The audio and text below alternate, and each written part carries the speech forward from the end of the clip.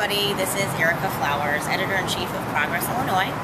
I was nominated by my friend JD Stamper to do the ALS Ice Bucket Challenge, and I am going to do the challenge as well as donate the $100.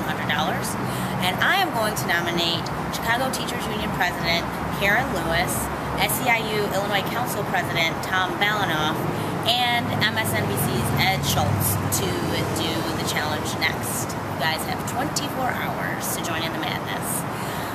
So here goes.